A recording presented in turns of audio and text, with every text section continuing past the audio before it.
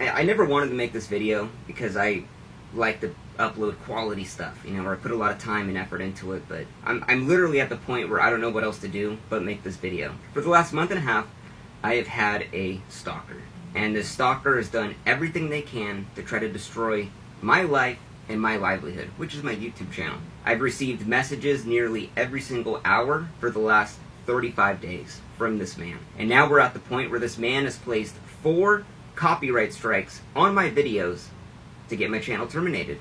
Because YouTube's rules, well, if you get three strikes, your channel's done donezo. But YouTube has done absolutely nothing to help me out in this situation. Now, this stalker is so vicious that I've had to hire a private investigator, a cyber harassment litigation firm, and a copyright attorney. So, who is this stalker and why is he doing this to me, trying to ruin my YouTube channel? Now, I mentioned this stalker in one of my most recent videos about the Xbox Underground hackers. And one of the hackers that was arrested for hacking into the US military and all that, his name is Sinet. And Sinet has been the absolute scum of the earth for the last fucking month and a half. I genuinely fear for my life at this point. I've had to move out of where I live. I've had to change fucking all of my shit because this guy is just seeping into every personal aspect of my life to try to fuck it up. So just keep this in mind. Sinet is a hacker that pled guilty to hacking into the United States government and now he is stalking me. So this guy's got the skills to really fuck up my life. So why is Sinet doing this, you might ask? So when I was making this video, I saw that Sinet had done a interview about all of his crimes publicly on the Darknet Diaries podcast. Great podcast, nothing bad to say about it. So because he had done that public interview, I messaged Sinet thinking that he'd be open to do an interview with me. And I sent him a really nice thing stating, hey, I'm just looking to pick your brain about some stuff. But Sinet tells me he doesn't want to do the interview. He wants nothing to do with me, which is fine. I totally get it. He says he's turned down people who have made docu-series on Netflix. Okay, whatever. But then Sinet starts telling me that I should move on from this story. That I probably shouldn't even make this video. Because everyone wants to forget about it. So I tell Sinet, hey man, I understand where you're coming from and that's it at the end of the day. I don't I don't say anything beyond that. So Sinet never responds back to my message and I get working on the video. The the story of the Xbox Underground, his story has been told thousands of times. So I'm gonna tell it in my own way. So two months later I publish my video on July 25th, 2023. And the video's a 1 out of 10. It's doing really well. I'm really proud of it. But then, two days later, after not talking to Sinet for about, maybe about two months, I start to receive all of these threats from Sinet on Twitter. And he says, Yo, that video got me feeling some way about you right now as a person. You proved all you care about is views. That's why you never got the time of day. So I ignore the message. Whatever, he's upset with it. The story's been told a thousand times. So on July 28th is when the harassment starts, this sophisticated stalking campaign. He's calling me a piece of scum, telling me I shouldn't be a YouTuber, and he's sending me tweets every single hour all through the night, telling me, Vince, I believe that was nice when I said I wanted to leave it all behind. To claim to understand that and still make a video is low. All because I told him in that original message I sent him that I understand why he's declining. I never said I understand and I'm not going to do the video. But that's what he thinks. So he continues on about a piece of shit, story chaser, leave me alone. And then he sends me a private message. Now this is interesting. Sinet tells me, the scene is made of where, and I'll be posting my personal email in the video. Now, the scene is the hacking scene. So pretty much it's a soft-handed threat that uh, I should be shooting bricks because they are going to come after me. So mind you, I'm not responding back to any of this. And then he starts posting on my Twitter account what Vince Vintage is no different than a creeper who fondled the female when she says no. Sinet is not very good at typing. So now he's calling me like a sex pest at this point because I made a video that he didn't want made. Then he tells me to eat shit. And then at 6.20 a.m., Sinet's posting all night long. Think about it. All night long, he's just thinking about this. He says, Vince Vintage, don't worry wait for my YouTube comment. Basically making an underhanded threat that something would happen through YouTube, but I don't know what it is. Now, at 6.32 a.m., he sends me a private message. The whole scene is laughing at you, basically talking about the hacking scene. Another soft-handed threat that the hacking scene would destroy my life. And all of this I just ignore. And these are just the real highlights of all the tweets. So the next day, July 29th, after I see Sinet tweeted me all fucking morning, I block him at 10.30 on July 29, 2003 on everything. Twitter, Instagram, Facebook, Snapchat, whatever. And then 93 minutes after blocking him, I get a DMCA claim on the video that he was trying to get me to take down by an Adam Chester. Now, Adam Chester provided an email, adamchester3 at protonmail.com, which, if you don't know, Proton Mail is notoriously used by hackers to hide their identity, which Sinet pleaded guilty to hacking into the US government. The timing of Adam Chester copyright striking my video was very suspicious after Sinet had harassed me over 13 hours nonstop. So I email YouTube's copyright team and then I email Adam Chester to find out like what these claims were. Because this video that was doing so well is taken down. And I'm extremely upset at this point. So at 4.17 a.m., the same time that Sinet was consistently harassing me, Adam Chester responded to my email asking what these copyright infringements were. And he said, oh, I'll have to check on that, but I'm traveling. Though I remember it was for multiple copyright infringements. As far as I remember, there were multiple other videos on your channel which violate my copyrights. But for now, I have not filed those strikes, since 3 strikes in 90 days leads to your channel getting banned. Just be careful in future videos. Have a good weekend. So Adam Chester can't tell me what these copyrighted infringements were on every single video on my channel that could lead to my channel getting banned. He's giving me a soft-handed threat that if I don't remove this video, he's going to go through and strike more videos on my channel to give me more of a hard time to try to terminate my shit. So here's the fucking gnarliest part of all of this. Now, when you get a copyright strike on your video, the YouTuber, you could file a counterclaim against that strike. And it basically states that, no, this actually wasn't copyrighted material. It's fair use. You make your argument. But when you send that counter notification, you have to put your legal name, your legal address, your phone number, all of that information. So when they file the lawsuit, if they do, they know where to send it to. Now, I knew that Sinet was using this copyright claim system to not only screw with me by not having the video up, but also trying to obtain my real information to dox and swat me. So I hire an attorney at this point to legally represent me on the counterclaim because I knew Sinet was trying to do this to fuck with me. So I'm like, I got an attorney, everything's gonna be all good, this guy won't know my name. So I put the attorney's name, all of their info on the counterclaim, we fill out the form, we send it out to YouTube. But YouTube does not accept the form with my attorney's name on it. YouTube says that I have to provide my legal name tied to my AdSense account. Although the person filing the copyright takedown has to provide no identification, no proof of anything about their fucking identity. So I have to show my full government name to this convicted hacker to file this counterclaim to get my video back up. That shit's so fucked up to me. So I filed a counterclaim with my, my legal name but my attorney's email, address, phone number, and YouTube finally accepts the claim. And basically, the attorney wrote up this thing about all the copyright violations and why they were BS. Adam Chester, Sinet, was saying that a ABC7 news clip was actually his that I used on my video. So we just sent the actual clip of the ABC7 from YouTube and being like, no, this is their clip, not Adam Chester. Adam Chester had no registered trademarks or copyrights to any of that stuff in the footage. So the whole thing was just BS right there.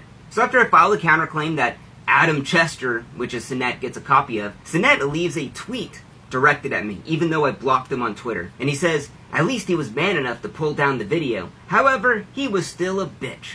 Instead of saying sorry, he pulls the video down and blocks me. How can someone be so asinine is beyond me. So, Sinet's playing dumb here. Oh, oh, at least he was man enough to pull down the video, but he's still a bitch. Whatever. We'll see a lot more of this in the future. So now it's August 1st, 2023. I have Sinet blocked on Twitter. But then he goes around, he starts tweeting publicly that whoever Adam Chester is, I'm gonna find him and strengthen the claim. He stole lines from Jack Rhysider, the Darknet Diaries podcast, and provides no evidence for what lines I stole. Now, what's super interesting about this is that Sinet knows Adam Chester took down the video. Now, when a video is taken down for a copyright strike, it is delisted from YouTube. It cannot be searched. It isn't even shown in my channel. So how would Sinet possibly know that Adam Chester was the guy that made the claim? Hmm. Well, I think Adam Chester is Sinet. So at this point, I contact YouTube support and several partner managers, and I lay out all of the harassment. I have all of the tweets, the messages, the BS, the DMCA claims, and YouTube tells me we can't do anything about it. You just have to go through the system. A couple days after sending my counterclaim to YouTube, that begins a 10 business day waiting period for a copyright lawsuit to be filed. In this case, Adam Chester would have 10 days to file a copyright lawsuit. And if he doesn't, well, my video gets to go back up on YouTube. So Adam Chester sends me a lengthy email telling me to take away my counter notification so the video's gone forever and that he's to sue me for harassment and, and copyright infringement if I leave the video up, if I basically keep the copyright notification there. So we ask Adam Chester for his legal information. And then Adam sends an email back saying, I kindly request that you just withdraw your counter notification. Then he says he can't tell us the details of his legal team. And then he says that all of the claims of all of the copyright infringements is over a million dollars USD that I would pay him if I left this video up. And then he continues to say that I keep harassing him. And then he ends the email saying that if I don't want to take down the video, don't even respond back to me because I'm not talking to you anymore. So we just don't respond back to Adam Chester, knowing that I know deep down that this is just Sinette trying to fuck with me. The next day, on August 10th, I don't want to live my life in fear anymore. I'm like, you know what? I'm not going to block this guy like a little bitch. I'm just going to unblock him and just be free. So Sinette sends me private messages 23 minutes after unblocking him. This guy is checking my Twitter non-stop, every day, every minute to see if I unblocked him. And 23 minutes later, he begins sending me a barrage of messages. He says, I see you unblocked me. Why? Also, FYI, I don't know who Adam Chester is. How would you know? No one can see the video.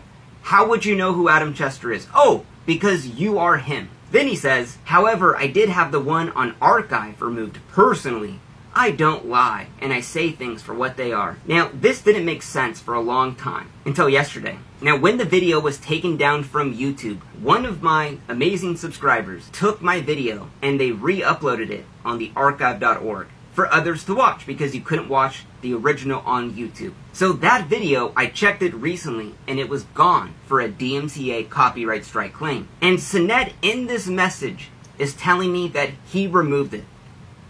So he removed the archive.org one, but he had, oh, he had nothing to do with my YouTube channel one. Fucking sure, bro. And then he continues to say, with all honesty, Adam Chester could be one of Nathan or Anthony's friends. No offense, but that video was a bit hurtful. So I don't respond to Sinette's message. And then at 3.18 a.m., you know, Sinette's normal operating time, he sends me two more private messages on Twitter. He says, what's funny is, I even hinted and said this was old news, and I wanted it dead. So you have control over this story being alive or dead? This man just continues to message me and tells me that he wanted it dead and he wanted it killed. And then Sinette begins to message me a sob story about how hurtful my video was and how I triggered his PTSD so bad and that the EMTs had to inject him with Ativan. So because my video gave you PTSD, you could copyright strike it. So keep in mind, the story that I told about Sinette has been told thousands of times online. So why is my video in particular so hurtful to him to causes PTSD? And you know what's crazy to think is that all of this stems because I asked him for an interview. If I never asked him for that, this probably would have never happened. So now at this point with him sending me all these messages and continuing to just harass me, I'm like, I don't know what the fuck this guy's capable of. So I hire a private investigator to do a full, comprehensive background check on Sinette. Because I wanted to find out, could I file a restraining order against them? Could I file a cease and desist? Could I file a false or fake DMCA lawsuit against them?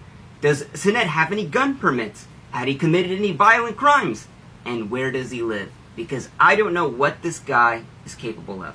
So the private investigator sends me a report that is 160 pages long about everything in his life. That Sinette is 37 years old, has no job. He lived at his mom's house and he just moved into his uncle's apartment that he lives in for free. And that he had tried to commit suicide the year before. Now normally I wouldn't bring that up. But we're talking about Sinette having nothing left to lose and all of the time in the world to just fucking harass me. Now, because my legal name was given to Adam Chester, who was Sinet, Sinet, a hacker who pled guilty into hacking into the US fucking government, begins harassing my fiance. Sinet had found my fiance's phone number and began texting her, pretending to be fucking me. Now, because I had Sinet's full background check at this point, I am freaking the fuck out. And I know exactly where he lives. I knew that the area code of this random number that texts my fiance, well, it's the same area code that Sinette lives at. What are the odds? Now, let me just give you some facts. My fiance is a school teacher. She doesn't, we've been together for 10 years. She has never had random numbers message her like this. So to have this happen from the same area code, the phone number, all out of the blue, while Sinette's been harassing me for the last month and a half, it's a little weird. Now, at this point, I knew that Sinet was he was stalking me. It was it was straight up stalking me. And I don't know what the fuck this guy was capable of. So me and my fiance move out of our home. We move the fuck out because I don't know that this guy that fucking hacked into the government. What, what the fuck is he gonna do? Because YouTube forced me to give my fucking name to him. This is what's going on in my life. And what? Just keep in mind, this all stemmed from me asking for an interview. Now, days later, on August 21st, my video that was copyright striked goes back up. And while my video was put back online, it was reset in the algorithm, basically just hurting me financially at this point. And while I did feel happy the video was back up, I knew in the back of my head that Sinette was going to copyright strike another video. Would it be the same one? Would it be a different one? I kept checking my YouTube studio every 30 minutes. I, I literally could not sleep. I just knew Sinet was going to get enraged and just copyright strike more videos and just trying to get me to fucking delete that video. And that's exactly what happened. So, just a couple days later, I get another strike on one of my biggest videos of all time. And the copyright holder, the claimant in this one, was Jake Turner. Now, Jake Turner didn't have a Google account either. He had, once again, a Proton Mail account. Jake Turner 91 at protonmail.com. Now, let me be clear. Proton Mail is super niche. No one uses it. So why would it be two people that both have copyright claims against all of my videos happen to also have the same super niche hacker email service. What are the odds of that? So I'm like, okay, whatever. You know what? He wants to play this game, let's do it. So now it's not Adam Chester, no, it is Jake Turner now fucking with me. Now, I'm on the phone with the attorney the next day, and I'm about to prepare a cease and desist against Sinette because I don't know what else to fucking do. I've tried going through YouTube, I've tried doing all this shit, and just nothing's getting done. And then I get another strike on my one of my biggest videos of all time. And I'm like devastated at this point. I'm like, I have two strikes on two videos. If I get one more of these from this fucking piece of shit filth, my channel's done. So I'm like freaking out. I don't know what to do. I called the attorney again. And then I get a third strike on my channel. Everything that I've built over the past three years is about to be gone in 90 days now. All because a 37 year old piece of shit, low life loser who has nothing better to fucking do just wants it down and doesn't have to prove anything about it. I was so fucking mad when I got that third strike that I fucking threw my phone at the fucking wall. I was so fucking mad. I've been dealing with this for over a month and a half. You know, YouTube's consistently told me just file the counterclaim, wait 10 days. But the problem is when my next video goes up, it's gonna be copyright struck like that, and the video's gone. And then it's, I gotta wait 10 days, and then it restarts in the algorithm, and then now it's fucking with my money. Like, Sinette, if you wanna continue doing this, oh boy, you do not fucking know what is coming after you. I've already filed a fucking FBI report against your ass. I've already hired a private investigator to find out where you fucking live. I've already hired a cyber litigation stalking fucking firm to protect myself against your creepy ass. And a copyright attorney unless you want to pull any shisty shit like that. Do not fuck with me. I will fuck with you so much harder than you ever could fucking dream. You thought the bar of soap in the prison was bad? Oh, fuck! You know the fuck's coming for your ass. And I told you to stop multiple times, and you continue to do this. And I tried handling this privately. But just like a big fucking cockroach, sometimes you gotta pull back the curtain and shine the light on it to get it to scatter up with the wall. Now, what's the craziest thing about this is like, I am so thankful to be in a position where I could afford to get help like this. You know, to pay for a private investigator, pay for the attorneys. I, I, I, I literally couldn't imagine if I wasn't in that situation what to do. You know, the thing I love to do the most is like I've had a lot of jobs in my life. I've done a lot of things, and YouTube videos are like it's like the greatest thing ever. You know, absolutely love it. I love making the videos. I love putting in all the work, the writing, the animating. I love it.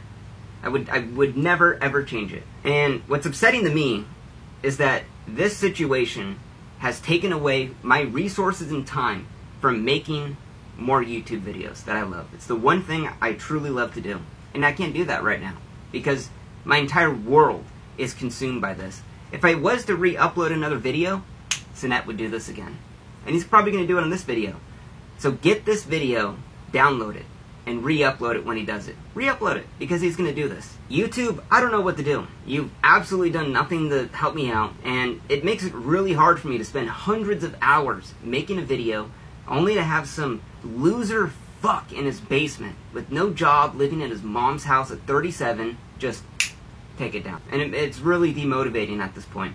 And I'm at the point where I'm prepared to spend more money to take this guy to court, to get injunctions, to get harassment, you know, restraining orders. I don't care. So, end of the day, I just want to make more videos, and the stalking thing has just absolutely consumed my life. So, as of right now, I'm going to be honest, I'm running out of solutions. So just make sure to download this video and re-upload it because Sinet's going to probably take it down again.